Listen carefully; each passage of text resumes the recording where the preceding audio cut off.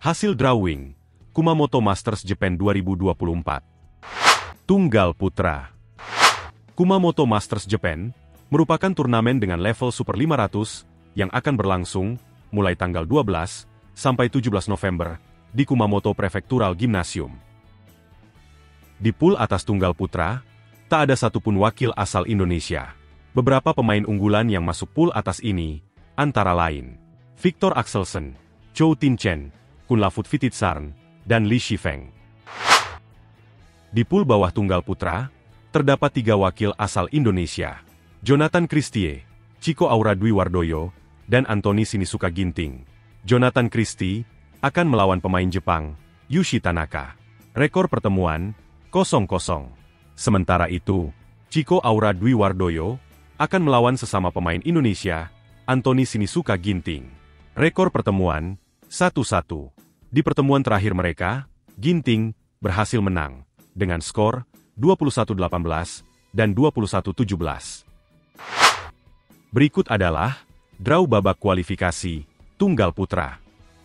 Di babak kualifikasi Tunggal Putra, terdapat satu pemain Indonesia, Alwi Farhan, yang akan melawan pemain Jepang, Shogo Ogawa. Rekor pertemuan, 0-0.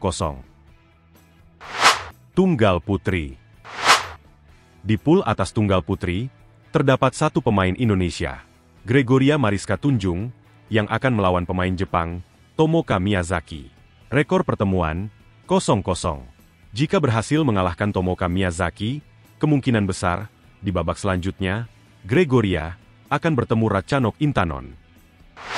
Di pool bawah tunggal putri, terdapat satu pemain Indonesia, Putri Kusuma Wardani, yang akan melawan pemain Jepang, Riko Gunji. Rekor pertemuan, 2-0, untuk keunggulan Riko Gunji. Jika berhasil mengalahkan Riko Gunji, kemungkinan besar di babak selanjutnya, Putri KW akan melawan Aya Ohori. Berikut adalah draw babak kualifikasi Tunggal Putri. Di babak kualifikasi, terdapat satu pemain Indonesia, Komang Ayu Cahya Dewi, yang akan melawan pemain Amerika Serikat, Lauran Lam. Rekor pertemuan, 2-0, untuk keunggulan Komang. Ganda Putra Di pool atas ganda putra, terdapat tiga wakil Indonesia. Muhammad Shohibul Fikri, Daniel Martin, yang akan melawan sesama wakil Indonesia, Leo Roli Karnando, Bagas Maulana. Rekor pertemuan, 0-1, untuk keunggulan Leo Bagas. Dan Fajar Alfian, Muhammad Rian Ardianto, yang akan melawan pemenang babak kualifikasi, Q1. Di pool bawah ganda putra, terdapat satu wakil Indonesia. Sabar Karyaman Gutama, Muhammad Reza Pahlevi Isfahani, yang akan melawan pemenang babak kualifikasi, Q4. Berikut adalah draw babak kualifikasi ganda putra. Ganda Putri Di pool atas ganda putri, terdapat satu wakil Indonesia. Jesita Putri Miantoro, Feby Setianingrum, yang akan melawan ganda putri Korea, Jong Na-en, Shin Sung Chenan. Rekor pertemuan, 0-0. Di pool bawah ganda putri, terdapat dua wakil Indonesia. Febriana Dwi Puji Kusuma, Amalia Cahaya Pratiwi, dan Lani Triamayasari, Siti Fadia Silva Ramadhanti. Febriana Dwi Puji Kusuma, Amalia Cahaya Pratiwi, akan melawan ganda putri Jepang, Kokona Ishikawa, Mio Konegawa.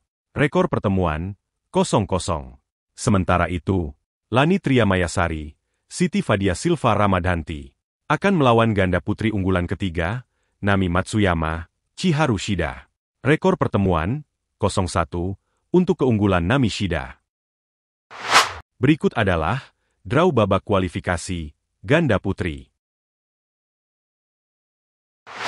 Ganda Campuran Di pool atas ganda campuran, tak ada satupun wakil asal Indonesia.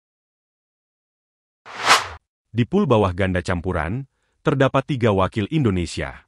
Rehan Naufal Kusyarianto, Lisa Ayu Kusumawati, Dejan Ferdinansyah, Gloria Emanuel Wijaya, dan Rino Frivaldi, Pita Haning Tias Mentari. Rehan Naufal Kusyarianto, Lisa Ayu Kusumawati, akan melawan wakil Chinese Taipei, Lin Bingwei, Lin Chichun. Rekor pertemuan, 0-0. Dejan Ferdinansyah, Gloria Emmanuel Wijaya, akan melawan wakil Jepang, Hiroki Midorikawa, Natsu Saito. Rekor pertemuan, 0-0.